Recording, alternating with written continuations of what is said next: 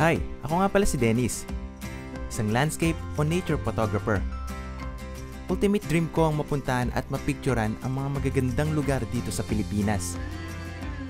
Para magawa ito, nag-decide kami ni Celine, ang misis ko, na bumuo ng isang home on the road. Kaya tara, samahan nyo kaming maglibot, mag-adventure, at mag-landscape photography sakay ni Eli the camper van.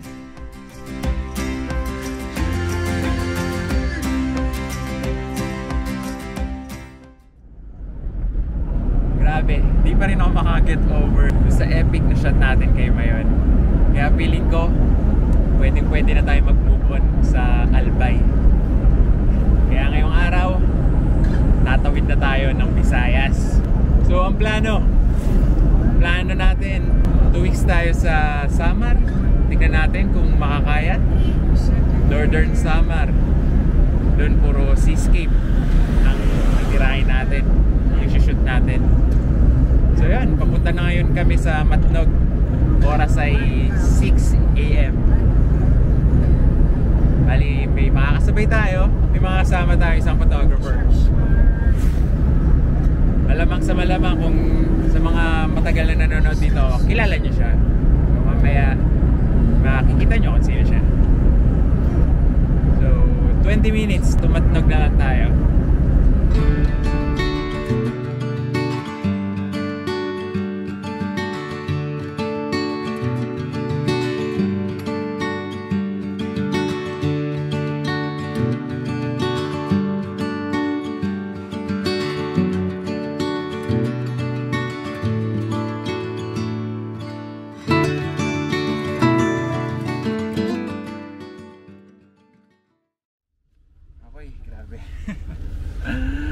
Run and gun kami kanina. Muntik pang mag-scam. Buti na lang, di ako magpa-scam. so yun, meron na tayong ticket. Hinintay na lang natin yung guest natin for Sana today's umabot. video. Na sana umabot.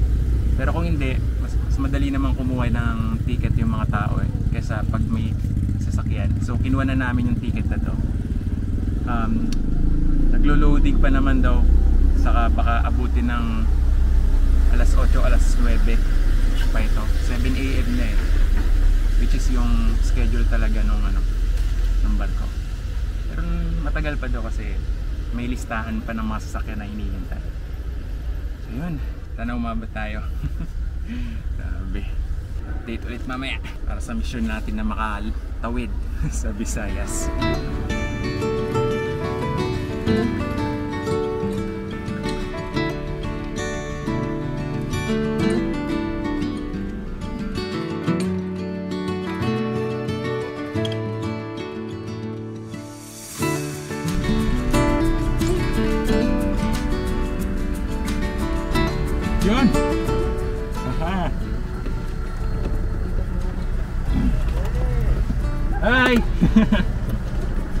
Wait lang. Dito ka na lang. Diyan mo na dito. Okay na ba, Celine? Nice! Francis Ansing nga pala guys. Makakasama natin sa ilang episode dito sa Northern Samar. Pero malamang sa mga matagal na sa channel na to, kilalang kilala nyo na siya. Pumasok na kami sa Matnog Port pero pagdating sa loob ay medyo maghihintay pa rin pala kami. Okay, after 30 minutes ng pagpila namin dito, yan mukhang umuusad na.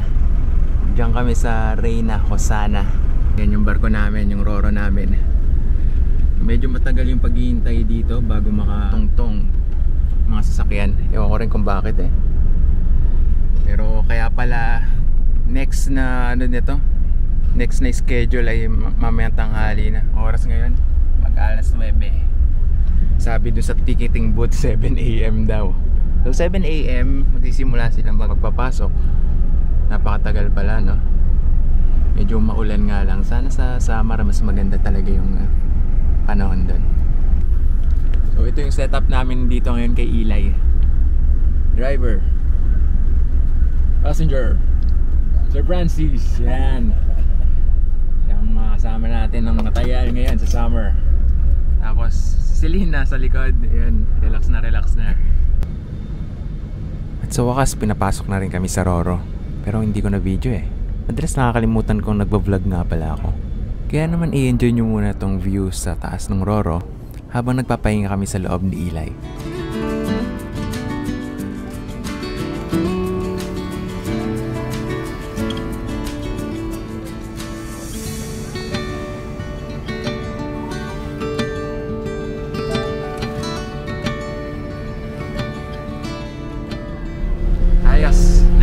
Sa Allen.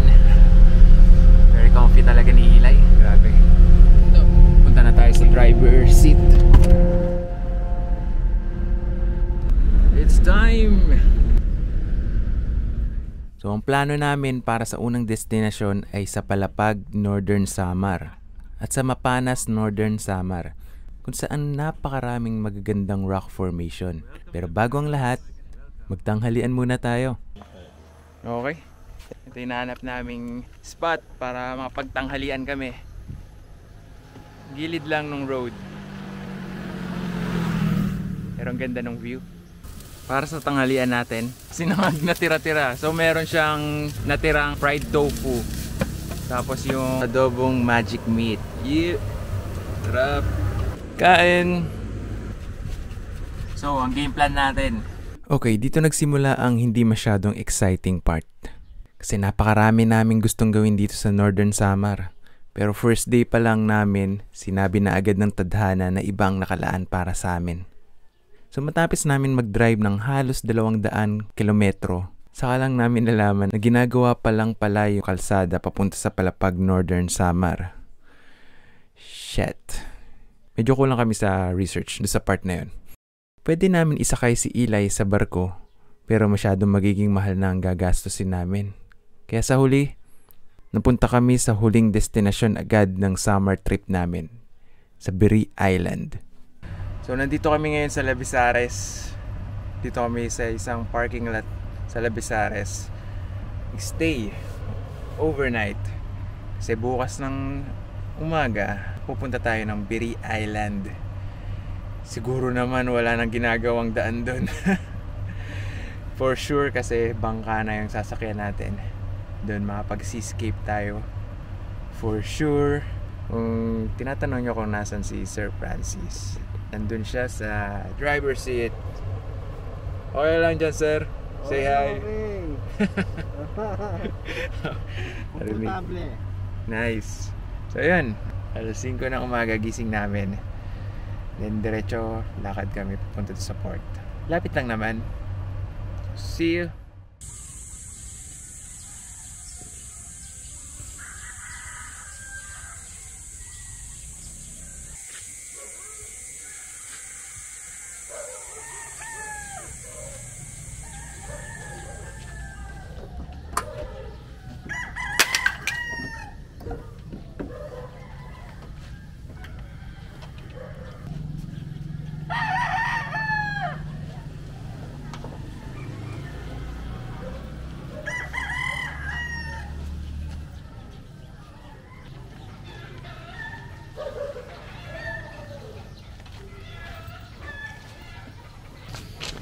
Okay, good morning.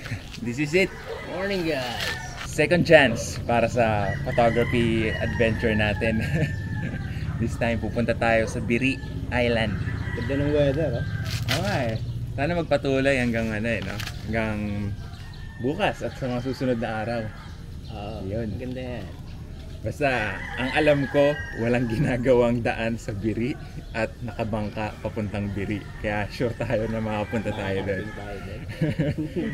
Wala nang palapag at mapanas na senaryo. So, yun, tara. Okay ka lang, babe. Ayos. Babaikin niya yung Biri Island. so, papunta na kami ng port. This is it, Pansit. Diba? Para kaming mga mag-hiking sa dami ng dala.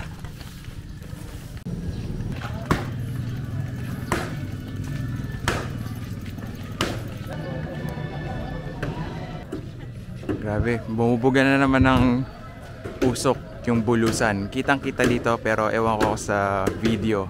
Medyo maliit si bulusan mula dito sa Lavisares sa Northern Samar. Ayun o, nasa gitna. Grabe. Sana okay lang yung mga mamamayan dun sa paligid ni Bulusan. If kailangan mag-evacuate, sana naka-evacuate sila. Kitang-kita ang pagbuga ng usok ng Mount Bulusan sa boat ride namin pa Biri Island. Halong pagkamangha at takot ang naramdaman ko. Pagkamangha kasi di naman palaging nakakita ng bulkan na naglalabas ng maraming usok. Pagkatakot, para sa mga nakatira malapit sa bulkan. Sa boat ride na rin na to nagsimula ang pagka-curious ko sa IR o infrared photography.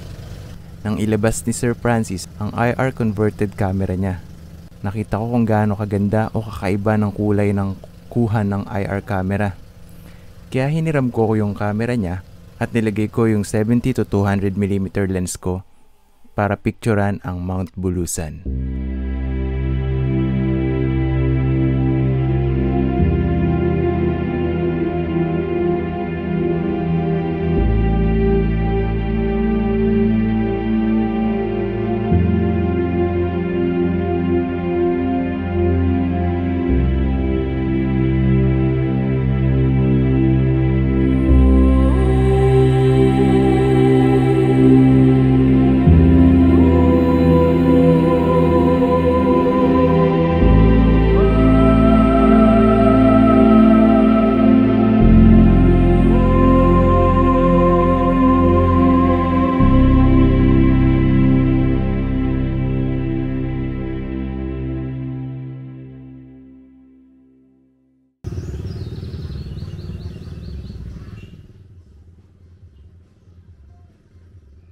Sa wakas, dito na tayo sa Biri at nandito na kami sa tinutuloyan naming accommodation. At ang ganda ng view. Actually, dito pa lang sa town proper ng Biri, kita na si Mount Bulusan na nakita nyo kanina. Naglalabas ng usok si Mount Bulusan. At ang daming mga possible foreground dito ni Mount Bulusan. So yun. Maganda, maganda. Pati itong accommodation namin, comfy naman kami dito. Meron tayong isushoot ngayon, tanghali, bago natin tapusin tong video na to. So, hiniram ko ulit yung IR camera ni Sir Francis. Yan. Kasi may nakita ko ditong island. Nakita dito sa accommodation namin sa Villa Amor. Ah, para siyang Turtle Island eh. So, subukan natin kung mapapalabas natin yung ganda niya gamit ang IR ngayon tanghaling tapat. Kung makikita nyo sobrang layo niya. So nanghiram tayo ng camera kay Celine. Yung Sigma 150 to 600 niya. Yan. Ito yung 1300D so wala na. Amaze lang talaga ako din sa shot natin kanina ng, ng Mount Bulusan So parang gusto ko na rin bumili ng second hand, third hand na gantong camera tapos pa-convert natin sa ng IR. Kay Yani. Yun, kay Yani. Shoutout sa'yo, Yani. Message kita kung sakaling meron na akong pang-convert na camera. Ayun. So, straight to the point lang naman eh. Isusum ko lang tong camera natin papunta dun sa uh, Turtle Island. Hindi ko kasi alam yung pangalan niya. So, tatawagin ko siyang Turtle Island. Maganda sana yung subject na nahanap ko kaso hirap akong i-process yung image na hihiwalay yung kulay ng island dun sa kulay ng paligid niya. Siguro dahil na rin sa layo ng subject natin mas umangat yung haze ng paligid niya kaya halos naging isang kulay lang yung buong scene. Anyway, ito pa ang ilang kuha ko sa IR camera.